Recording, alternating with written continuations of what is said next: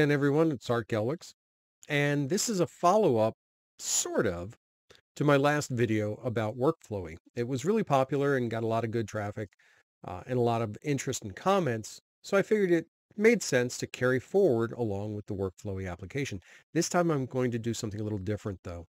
This time I'm going to show you how to set up in Workflowy what I'm calling is a remix of Merlin Mann's 43 folders. And if you use your search engine of choice and look up 43 folders, you'll find that it's a technique that can be used not only in the digital space, but also in the physical space to allow you to manage information over the course of an entire year, days and months. So what we're going to do is I'm going to set this up the way I would approach it in 43 fold, or I'm sorry, in Workflowy. Um, we're also going to take a look at how you can use some of the features of Workflowy to provide some extra capability that you would not normally have just using plain vanilla 43 folders. But to start, we need to pop over to Workflowy. So let's go ahead and do that now. Now let's explain a little bit about what 43 folders actually is.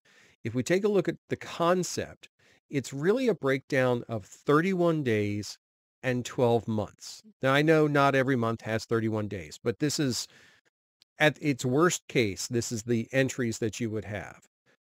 An entry for each of the 31 days, possible days in a month, and, and an entry for each of the 12 months in the year. Now, seems pretty straightforward. So let's back up a little bit here, and I'm going to go into a page that I've used to create this. And I'm going to start to create some section headers here. I'm going to refer to them as section headers. They're still normal nodes, but ultimately you'll see when I turn on a feature, it's going to change how they work. So we're going to start with something I'll explain later, quick links. Now I'm also going to add the days, and this is the easy part, aside from spelling. Under days, I'm literally going to create one node for each day. So if we go through, I'm just going to do this type of a thing.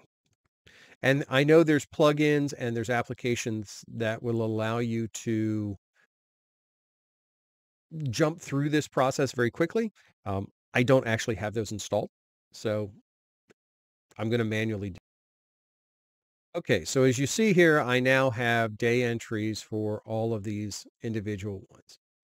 Not a big deal, pretty straightforward. Now I'm going to add another node and we're going to call it month. And no points for guessing what I'm going to put under here. So I'm just going to pause it for a second and then you'll see them all pop up. And ta-da, there's our months. Now you'll notice I didn't use the date property or the date tag within Workflowy. I'm reserving that for the actual notes that go in the sections. And the reason is because I like to be able to leverage the lookups that I can do tied to those date tags or the, the filters I can do for that. So I don't really need them at the month level. So let's start with this. How, how does this get useful? Well, I could use this right the way it is, but immediately I'm going to make a change. I'm going to switch this over to a board view. And you'll notice right away, ah, this starts to make a little more sense. I now have for each day of the month, I've got an entry that I can plug in stuff for the day.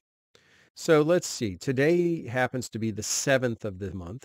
So I can go down here, open it up and take a note, create video about workflowy. And actually, I'm going to change that a little bit. I'm going to make that a tag because I want to be able to reference that tag later on. Um, and we'll do another one, 43 folders. If I could type today, that'd be good. And I'm going to add my date because I did it today. Uh, if this was a to-do item,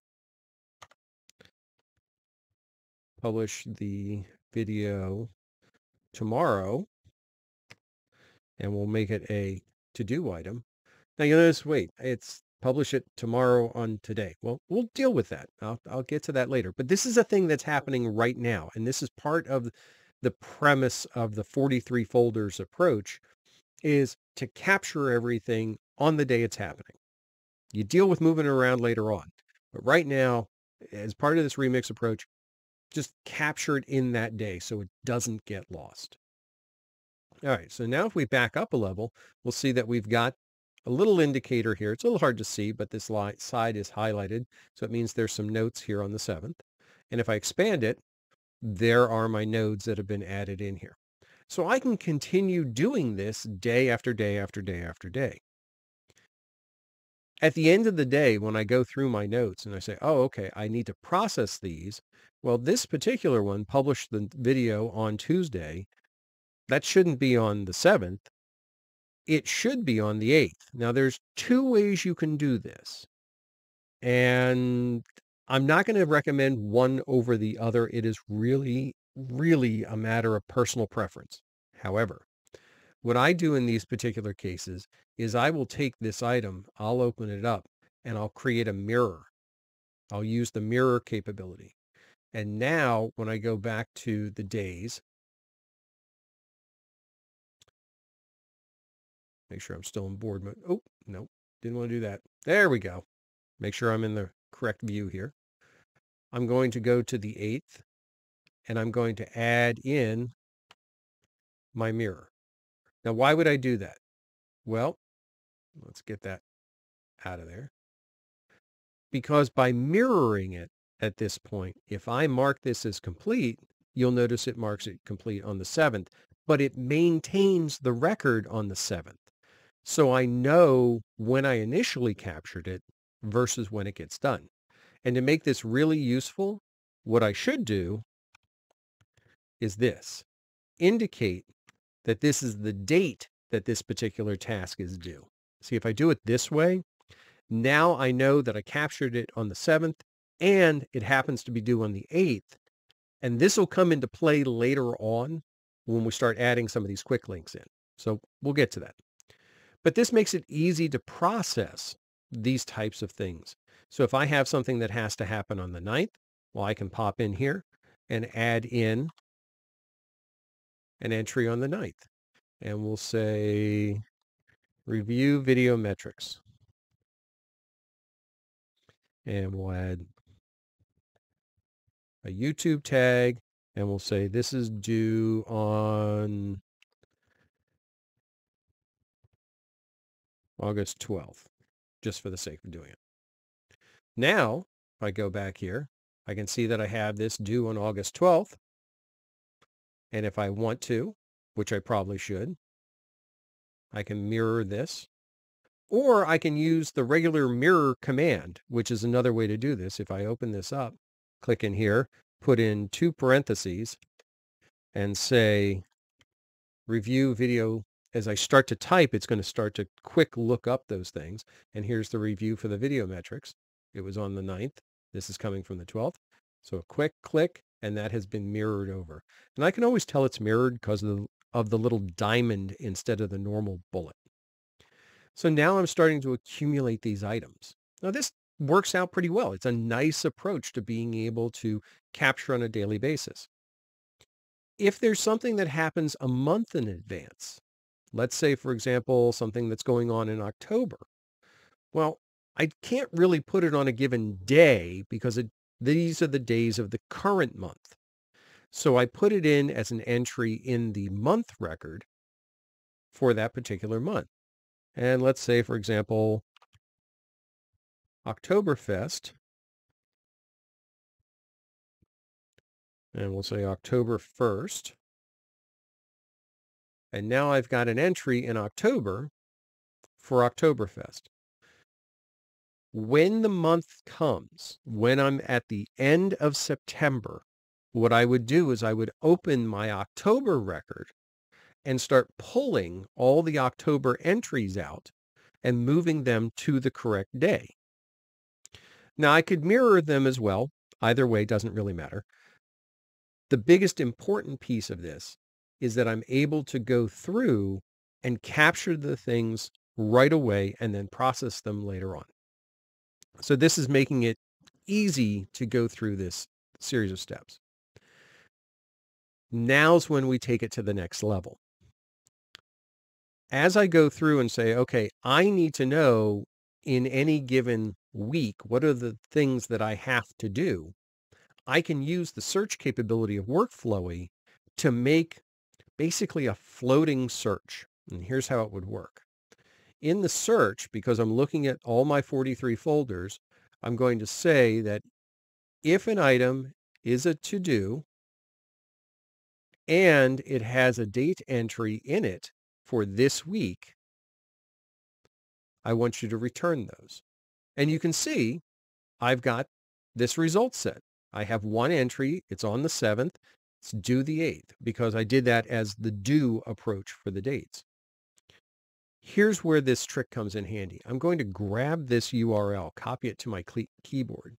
I'm going to go down here to quick links and I'm going to create an entry here called things to do this week. I'm going to highlight it, Control K, Control V, apply. Now what I've done is I've given myself an easy way to single click and see everything that has to be done this week. Why is this useful? Because this week will become a rolling week. It doesn't actually have to be the current week that I'm in. Next week, it will be showing me the stuff for next week and so on and so forth. So we could reproduce this process. We can go in here and say, if it's a to-do item, using the is parameter, to do, and for the date, say next week, there's my filter. I'm going to copy that. Now in this case, there isn't anything there, so I didn't get any results back, but that's okay. We're, we're going to test that in a minute. Things to do next week. Highlight using Control A, Control K, Control V, apply. Things to do next week. Now, I don't see anything for next week, so let's test it out. Let's make a to-do item out of this review video metrics. Contr uh, to do on Windows is Control Alt 9 for a keyboard shortcut. And if this works and it falls into next week, oh, I guess it isn't for next week. Is that this week or next week? That would be next week. Let's try setting something to do on the 15th. Um, let's say check YouTube comments. Due August 15, same day, but that's okay. That just means that I can track it easily. And now, things to do next week. Sure enough, there's the thing that's coming next week. And when it gets closer, when it crosses into this week, it'll show up in the this week section. I can expand the column at any time and I can change my focus. This is a great way to manage those task activities while also managing all those bulk collections of notes that you need to keep track of as well. So if you want me to dig into this more, uh, do me a favor and leave a comment down below. Also, don't forget to like and subscribe because this is an easy way for me to go through and really try to help you out with other ways to apply workflowy within your environment. And I find that this method, specifically this 43 folders reflect or remix, is one of the great ways to get this in your hands and get the ball rolling. So I hope you enjoyed this. I hope you found it useful. And if you did, I look forward to seeing you as part of the next video.